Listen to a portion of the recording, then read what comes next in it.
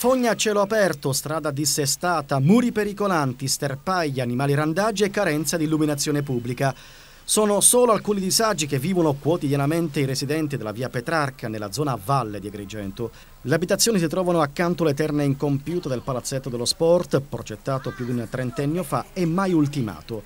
Stanchi di vivere in condizioni di estrema difficoltà, questa mattina alcuni abitanti della zona si sono rivolti alla nostra redazione per denunciare lo stato di abbandono in cui vivono e per chiedere l'intervento dell'amministrazione comunale. Tutta l'estate noi siamo stati con questa imbarcatura, posteggio di macchine andiamo a posteggiare lontano, ci sono dei disabili qui, cioè, mm, in effetti abbiamo pure tra l'altro un signore senza gamba, viene un 118, ci sono abbastanza disabili in questo quartiere che non voglio accumulare i nomi perché non è giusto che non sono presenti, per cui diciamo che un disabile eh, oppure un signore con la spesa dovrebbe venire, eh, insomma l'imbarcatura è da tre mesi, ora hanno chiuso i lavori di è da una settimana, 15 giorni, non mi ricordo quando sia di preciso perché non voglio dare una data, ma i, i muratori, diciamo un signore così perché io non lo posso dire, non, perché non lo conosco, ci hanno detto che finiti, sono finiti i soldi.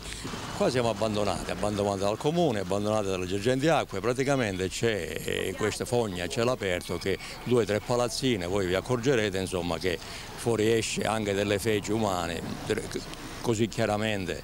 Poi hanno iniziato, il comune ha iniziato a fare questi lavori qua che voi vedete. Ma porca miseria, è possibile che lo lasciano sempre a metà il comune? Perché pare che di fronte, insomma, come si gira l'angolo, pare che lo lasciano, lo debbono lasciare così. Ora che significa? Che di nuovo le macchine ci vengono diciamo, scassate dalle, dalle pietre che cadono, il fango che, che, che scende, cioè questo è il problema. Cioè praticamente qua siamo veramente un quartiere abbandonato a se stesso. Ecco.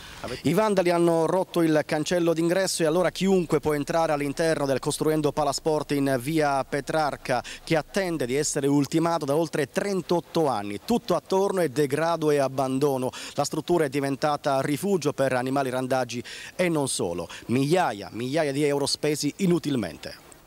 E sono soldi dei contribuenti andati ormai persi. Ne serviranno altre centinaia, migliaia per rimetterlo in sesto e magari ultimarlo. Lo spettacolo è indecoroso, erbaccio ovunque, carcasse di animali morti ed escrementi. La gente ha scambiato la struttura per un bagno pubblico.